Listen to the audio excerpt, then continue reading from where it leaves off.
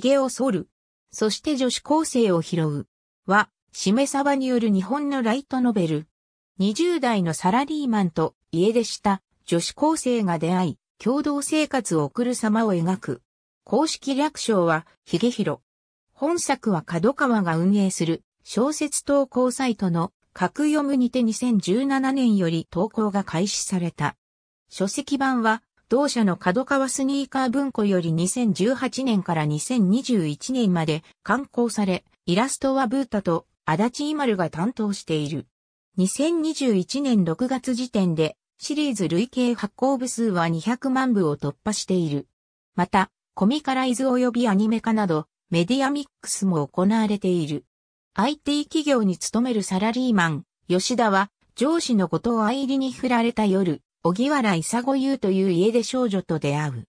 砂優は成功と引き換えに宿を提供するよう吉田に要求するが、吉田はこれを拒否した上で、働くことを条件に彼女を居候させる。吉田と暮らすうちに、砂優は吉田の優しさに触れ、彼に捨てられたくないと思うようになる。砂優から思いの丈をぶつけられた吉田は、砂優がいることで自宅の居心地が良くなったと打ち明ける。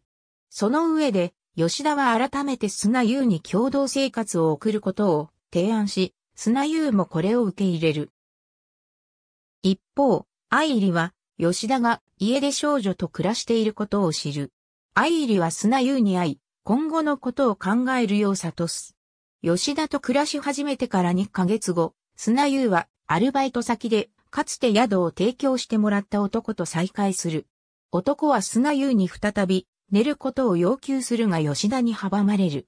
その際、吉田は男から砂優との生活をずっと続けることはできないと指摘される。季節は巡り、夏、吉田の職場に神田青という女性が加わる。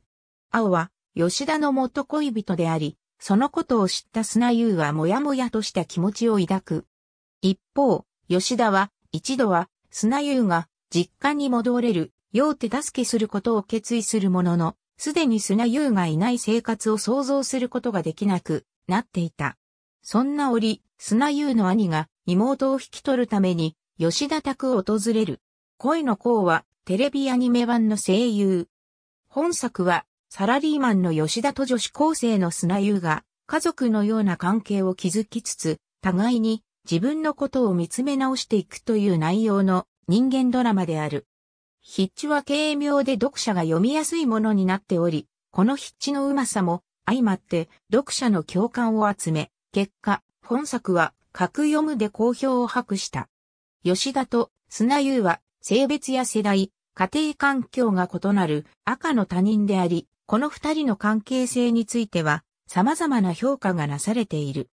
ライターの榎木元厚氏は、現代日本社会は孤独や他人との距離感が話題になる社会であり、その社会にあって、疑似家族の形成という問題をはらんでいる本作は、新しいトレンドになり得る、と評している。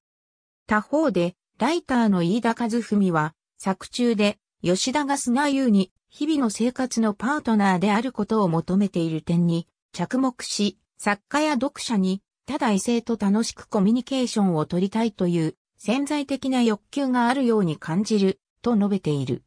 本作の作者、しめさばはもともと格読むで活動しており、本作を書く前はハイファンタジーを執筆していた。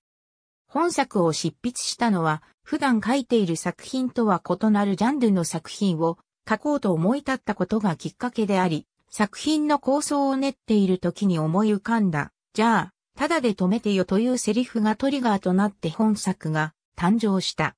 しめさばによると、第2巻に収録されているエピソードを執筆している時に書籍化の提案があったという。ただ、この時点では、新しい作品を立ち上げてデビューする方向も検討されていたといい、最終的には、しめさば、本人の意向もあり、本作の書籍化が決まった。なお、本作は当初、反り残した髭、あるいは女子高生の制服というタイトルで執筆されていたが、書籍化に伴い、ライトノベルらしいものに変えようと模索した結果、現在のタイトルにたどり着いたという。足立イマルによる本編のコミカライズ作品が月刊少年エースにて2019年1月号から連載されている。2021年3月5日からはバラマツ瞳によるイーチストーリーズのコミカライズが少年エースプラスにて配信されている。2021年4月から6月まで ATX 他にて放送された。2019年12月にアニメ化企画が進行していることが明らかとなり、翌2020年7月に媒体及び主要スタッフが、同年10月にキャスト及び追加スタッフが発表された。